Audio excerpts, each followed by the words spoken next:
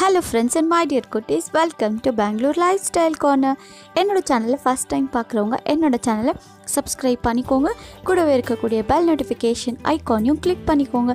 அப்போ தான் நான் போடுற வீடியோஸ் உங்களுக்கு உடனே நோட்டிஃபிகேஷனாக அப்டேட் ஆகிடும் வீடியோவை ஸ்கிப் பண்ணாமல் ஃபுல்லாக பாருங்கள் இன்றைக்கி கிவ் அவேக்கான ஃபிஃப்டீன்த் கொஷனை நான் வந்துட்டு இந்த வீடியோவில் கேட்க போகிறேன் ஸோ ஸ்கிப் பண்ணாமல் ஃபுல்லாக பாருங்கள் இன்றைக்கி நம்ம சேனலில் பிதுக்கு பருப்பு குழம்பு எப்படி செய்கிறதுன்றதை பார்க்க போகிறோம் ஸோ இதை கர்நாடகாவில் வந்துட்டு ஹிட்கின் பெலே சாரன்னு சொல்லுவாங்க.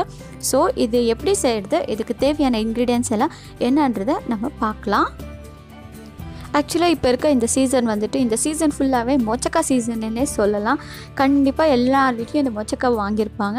அண்ட் இப்போ இதை வந்துட்டு நம்ம என்ன செய்ய போகிறோன்னா இதை டிவைட் பண்ணிக்க போகிறோம் ஸோ இதை இந்த மாதிரி முத்தலாக இருக்கக்கூடிய இந்த காயை செப்பரேட்டாகவும் அதுக்கப்புறம் இந்த மாதிரி எலசாக இருக்க இந்த காயை செப்பரேட்டாகவும் எடுத்து வச்சுக்கலாம். ஸோ முத்தலில் கொழும்பு செய்ய போகிறோம் இங்கே எங்கள் வீட்டிலலாம் வந்துட்டு இந்த முத் எலசாக இருக்கக்கூடிய இந்த காயை வந்துட்டு உப்மாவில் பலாவ் அண்ட் பிசிபெல்ல uh, இந்த மாதிரி எல்லா rice items and including upma இந்த மாதிரி எல்லா வகையான breakfast items and lunch items எல்லாத்துலேயுமே இந்த எலசாக இருக்கக்கூடிய இந்த காயை சேர்த்துப்பாங்க. ஸோ அந்த வேர்க்கடலைக்கு பதிலாக இதை சேர்த்தாங்கன்னா ரொம்ப டேஸ்ட்டாக இருக்கும்னு சேர்த்துடுறாங்க. நெக்ஸ்ட்டு என்ன பண்ணணும்னு பார்த்தீங்கன்னா நம்ம ஏற்கனவே முத்தலை எடுத்து வச்சுருக்கோம் இல்லைங்களா? ஸோ இதில் வந்துட்டு இந்த முத்தலாக இருக்கக்கூடிய இந்த கொட்டையெல்லாம் ஊறுற அளவுக்கு தண்ணியை நம்ம இதில் சேர்த்துக்கலாம். இதை வந்துட்டு அட்லீஸ்ட் ஒரு ஃபோர் டு ஃபைவ் ஹவர்ஸ் வந்து இதை நம்ம ஊற வைக்கணும். இல்லாட்டி நீங்கள் நெக்ஸ்ட் டே செய்கிறீங்கன்னா ப்ரீவியஸ் நைட் வந்துட்டு இதை ஊற வச்சு வச்சுடுங்க ஸோ இது நைட்டெல்லாம் இது நல்லா ஊறட்டும். ஸோ இதுக்கப்புறமா நம்ம நெக்ஸ்ட் டே செய்ய போகிறோன்னா இது ஊறிட்ட பிறகு அடுத்த நாள் வந்துட்டு இது எல்லாத்தையும் நம்ம கொஞ்சம் கொஞ்சமாக எடுத்து பிளேட்டில் வச்சு இதை நம்ம கொஞ்சம் நிறைய எடுத்தாலும் பரவாயில்ல. நம்ம சின்ன பிளேட்ஸில் எடுக்கிறோன்னா கொஞ்சம் கொஞ்சமாக எடுத்து இதை நம்ம பிதுக்கிறதுக்கு ஸ்டார்ட் பண்ணிடலாம். இந்த மாதிரியே எல்லா கொட்டையும் பிதுக்கி எடுத்துக்கலாம். எங்கள் வீட்டில் இன்றைக்கி டூ கேஜிஸ் எடுத்திருக்காங்க. ஸோ இது எல்லாத்தையும் நம்ம பிதுக்கி எடுத்துடலாம். ஓகே ஃபைன் நம்ம லாஸ்ட் வீடியோவில் கிவ் அவேக்கான ஃபோர்டீன்த் கொஷின் கேட்டிருந்தோம். ஸோ அந்த ஃபோர்டீன்த் கொஷினுக்கான கரெக்ட் ஆன்சர் என்னன்னு பார்த்தீங்கன்னா காலிஃப்ளவர் பக்கோடா இதுதான் கரெக்டான ஆன்சர் ஸோ நிறைய பேர் எனக்கு கரெக்டான ஆன்சரை தான் எனக்கு மெயில் பண்ணிகிட்டு இருக்கீங்க. So keep going and all the best okay fine இப்போ இது எல்லாத்தையும் நம்ம இதே மாதிரி பிதுக்கி எடுத்துடலாம். அவ்வளோதான் நம்ம எல்லாத்தையும் இதை மாதிரி பிதுக்கி எடுத்தாச்சு. இதுக்கப்புறம் நம்ம இப்போ இதை என்ன பண்ண போகிறோம்னு பார்த்தீங்கன்னா இது எல்லாத்தையும் நம்ம பிதுக்கி எடுத்ததுக்கப்புறமா இதை நம்ம ஒரு அட்லீஸ்ட் ஒரு டூ டு த்ரீ டைம்ஸ் ஆகுது நல்லா வாஷ் பண்ணணும். எல்லாத்தையும் பிதுக்கிட்ட பிறகு இந்த மாதிரி ஒரு டூ டு த்ரீ டைம்ஸ் ஆகுது அட்லீஸ்ட் நம்ம வாஷ் பண்ணி எடுக்கணும். ஓகே இதுக்கப்புறமா மசாலாவுக்கு தேவையான ஐட்டம்ஸ் என்னென்னு பார்க்கலாம். இங்கே வந்துட்டு ஒரு ரெண்டு பெரிய சைஸ் வெங்காயம் அதுக்கப்புறம் ஒரே ஒரு பெரிய தக்காளி அப்புறம் ஒரு இருபது பல் பூண்டு ஒரு இன்ச்சு போல் இஞ்சியை இந்த மாதிரி எடுத்து வச்சுருக்கோம். ஸோ இப்போ நம்ம இதெல்லாத்தையும் என்ன பண்ண போகிறோன்னா இது எல்லாத்தையும் நம்ம ஒவ்வொன்றா ஃப்ரை பண்ணி எடுக்க போகிறோம் இது எல்லாத்தையும் நம்ம ஃப்ரை பண்ணுறதுக்கு ஒரு கடாயில் கொஞ்சமாக நம்ம எண்ணெய் சேர்த்துக்கலாம். எண்ணெய் சேர்த்ததுக்கப்புறமா எண்ணெய் வந்துட்டு நல்லா காயிட்டோம். எண்ணெய் நல்லா காஞ்சதுக்கப்புறமா நம்ம எடுத்து வச்சுருக்க பூண்டுங்களை சேர்த்துக்கலாம். பூண்டு எல்லாத்தையும் இதில் சேர்த்ததுக்கப்புறமா ஜஸ்ட் அப்படியே ஃப்ரை பண்ணிக்கோங்க. அதுக்கப்புறமா ரொம்ப ஃப்ரை ஆகிறதுக்கு முன்னே ஆனியன்ஸை இதுலேயே நம்ம சேர்த்துக்கலாம். ஆனியன்ஸ் எல்லாம் சேர்த்ததுக்கப்புறமா இது வந்துட்டு ஒரு கோல்டன் ப்ரௌன் கோல்டன் ப்ரௌன்னு சொல்கிறத விட இந்த வெங்காயம் அதுக்கப்புறம் நம்ம பூண்டு சேர்த்துருக்கோம் இல்லைங்களா? ஸோ இதோட பச்சை வாசனை போகிற வரைக்கும் இதை நம்ம நல்லா ஃப்ரை பண்ணி எடுத்துக்கலாம். அவ்வளோதான் இப்போ நமக்கு ஆனியன்ஸ் ஓரளவுக்கு குக் ஆகி வந்திருக்கு. ஸோ ரொம்ப குக் ஆக வேண்டியதில்லை. ஏன்னா நம்ம மிக்ஸி ஜாரில் போட்டு பிளண்ட் பண்ண போகிறோம் இதுக்கப்புறமா நம்ம எடுத்து வச்சுருக்க அந்த ஒரு பெரிய சைஸ் தக்காளியை கட் பண்ணி வச்சுருப்போம் இல்லைங்களா? ஸோ எல்லாமே ரஃப்லி சாப் தான். நம்ம இதை பிளண்ட் பண்ண போகிறோம் ஸோ பொடியாக ஒன்றும் நறுக்க வேண்டியதில்லை. அப்புறம் தக்காளி கூடவே அந்த இஞ்சியும் நம்ம இதில் சேர்த்துக்கலாம். எல்லாத்தையும் சேர்த்து நல்லா ஃப்ரை பண்ணி எடுத்துக்கோங்க. ஓகே ஃபைன் நம்ம இப்போது கிவ் அவேக்கான ஃபிஃப்டீன் கொஷின் போகலாம் ஸோ அந்த ஃபிஃப்டீன் கொஷின் என்னென்னு பார்த்தீங்கன்னா இங்கே உங்களுக்கு ஒரு தமிழ் டிஸ்பிளே ஆகிட்ருக்கும் ஸோ இந்த தமிழ் ரிலேட்டடாக இருக்கக்கூடிய வீடியோக்குள்ளே போய் வீடியோவை ஃபுல்லாக பாருங்கள் இதில் நான் செகண்ட் கலராக எந்த கலரை நான் மிக்ஸ் பண்ணியிருக்கேன்றது தான் இந்த கிவ் அவேக்கான கொஷின் ஸோ கரெக்டான ஆன்சரை என்னோட இந்த மெயில் ஐடிக்கு நீங்கள் மெயில் பண்ணிவிடுங்க ஓகே இப்போ இது எல்லாத்தையும் நம்ம நல்லா இதை ஃப்ரை பண்ணி எடுத்தாச்சு. இதுக்கப்புறம் நம்ம என்ன பண்ண போகிறோம்னா ஒரு பிளேட்டில் இது எல்லாத்தையும் ட்ரான்ஸ்ஃபர் பண்ணிவிட்டு இதை நல்லா ஆற வச்சிடலாம். ஏன்னா நம்ம மிக்ஸி ஜாரில் blend பண்ண போகிறோம் அதனால் ஆறிட்ட பிறகு இதை நல்லா ஒரு ஃபைன் பேஸ்ட்டாக அரைச்சி எடுத்துக்கோங்க. அவ்வளோதான் இதுக்கப்புறமா ஒரு குக்கரில் கொஞ்சமாக எண்ணெய் சேர்த்துக்கோங்க. எண்ணெய் சேர்த்துட்டு எண்ணெய் கொஞ்சம் அதிகமாகவே சேர்த்துக்கோங்க. நம்ம நார்மலாக குழம்பு கூத்துறாலும் எண்ணெய் சேர்த்துக்கோங்க. எண்ணெய் நல்லா காயிட்டோம். எண்ணெய் நல்லா காயிட்டோன்னு நம்ம இங்கே ஒரு ஆறு கிராம்பு எடுத்து வச்சுருக்கோம்.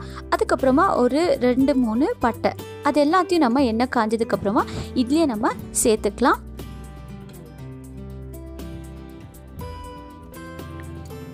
சேர்த்துட்டு இதுலேயே நம்ம அரைச்சி வச்சுருக்க அந்த விழுது அதாவது நம்ம ஆனியன் டொமேட்டோ இதெல்லாத்தையும் பிளெண்ட் பண்ணி எடுத்தோம் இல்லைங்களா? ஸோ அதோட பேஸ்ட்டை தான் நம்ம இப்போது அந்த குக்கரில் ஆட் பண்ணிக்க போகிறோம்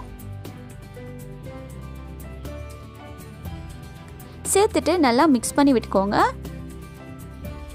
நம்ம ஏற்கனவே இதை ஃப்ரை பண்ணதால் ஜஸ்ட் அது அந்த ஆயிலோட மிக்ஸ்அப் ஆகிற வரைக்கும் இதை நல்லா இந்த மாதிரி ஃப்ரை பண்ணி விட்டுக்கோங்க.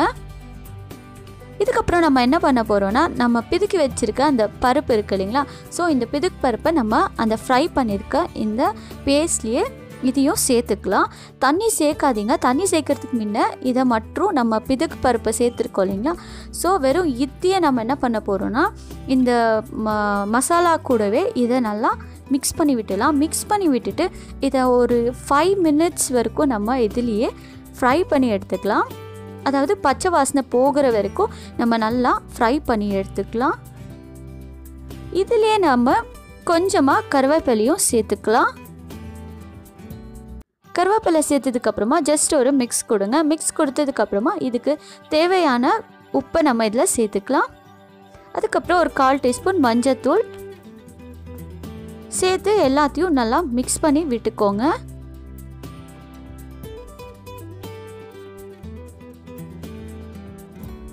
இதுக்கப்புறமா நம்ம இந்த குழம்புக்கு தேவையான அளவு காரம்.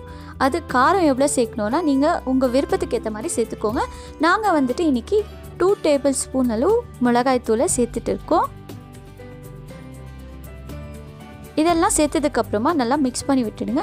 ஜஸ்ட் உங்களுக்கு இதெல்லாம் சேர்த்ததுக்கப்புறமா ஜஸ்ட் ஒரு ஃபைவ் மினிட்ஸ் இதில் குக் ஆகி வந்தாலே போதும். அதாவது பச்சை வாசனை போகிற அளவுக்கு நம்ம ஃபஸ்ட்டு இதை குக் பண்ணி எடுத்துக்கணும். இதுலேயே இப்போது நல்லா குக் ஆகிட்ட பிறகு ஃபைவ் மினிட்ஸ் கழித்து நம்ம குட்டி உருளைக்கிழங்க ஹாஃபாக கட் பண்ணி இதுலேயே நம்ம சேர்த்துக்கலாம்.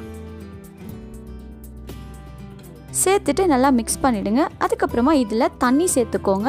நம்ம குழம்புக்கு தேவையான அளவு தண்ணி சேர்த்து இதை நல்லா மிக்ஸ் பண்ணி விட்டுக்கலாம்.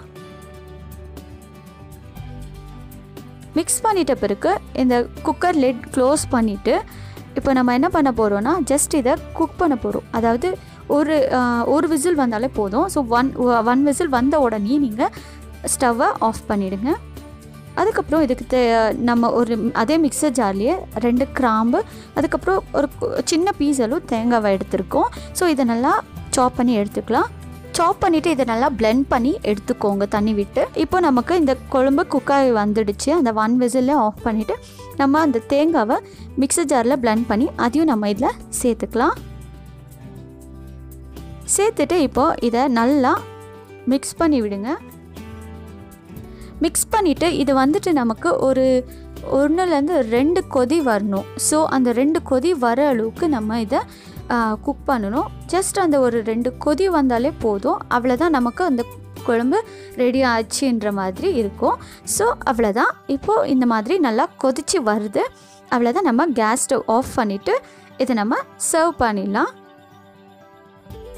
அவ்வளோதான் நம்மளோட ஈஸியான பிதுக் பருப்பு குழம்பு ரெடி ஆகிடுச்சு இந்த ரெசிபியை நீங்களும் உங்கள் வீட்டில் ட்ரை பண்ணி பாருங்கள் எப்படி இருந்துச்சுன்னு உங்களோட எக்ஸ்பீரியன்ஸை என்னோட கமெண்ட்ஸில் ஷேர் பண்ணிக்கோங்க. அண்ட் இந்த வீடியோ பிடிச்சிருந்துச்சுன்னா ஒரு லைக் போடுங்க கமெண்ட் பண்ணுங்கள் உங்கள் ஃப்ரெண்ட்ஸ் ஃபேமிலி மெம்பர்ஸ் எல்லாரோடையும் இந்த வீடியோவை ஷேர் பண்ணிக்கோங்க. என் சேனலை சப்ஸ்கிரைப் பண்ணாமல் பார்க்குறவங்க தான் ப்ளீஸ் என்னோடய சேனலை சப்ஸ்கிரைப் பண்ணிக்கோங்க. தேங்க்ஸ் ஃபார் வாட்சிங்